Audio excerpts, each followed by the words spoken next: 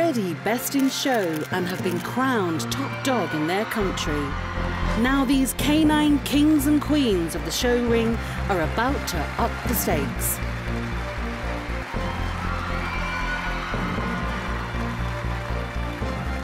This is the real best in show.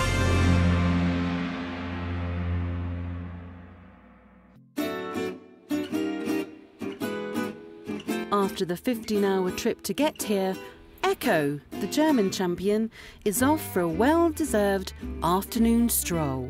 The flight was okay, but I must say it is a very long time for a dog in a box because he has to be inside the box uh, two, three hours before we, uh, the takeoff and then 10 and a half hour uh, the flight took and then we had uh, a very long time for check out, but he managed it.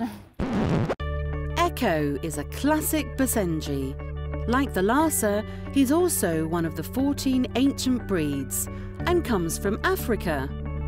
He's the African hunting dog, used by the natives to warn them of danger, direct them through the countryside, and retrieve and drive games to nets.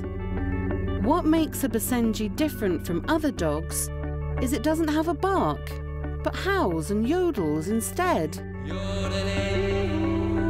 So if the Basenji is your choice of dog, remember this.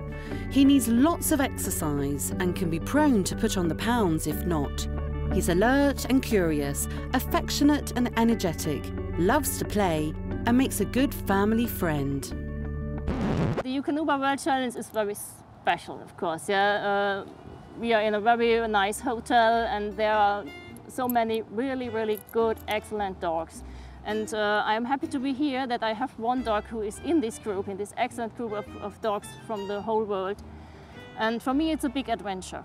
It's a lot of work. We train our dogs and uh, we travel a lot. If the people come and say, oh, you have a very pretty dog, it makes so much fun and I really love it.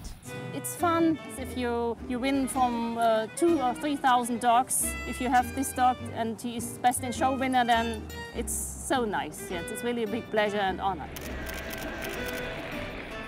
He was in the final of the best 16 dogs from Germany and there was a committee of three judges and they decided that Echo is the best and so we are here.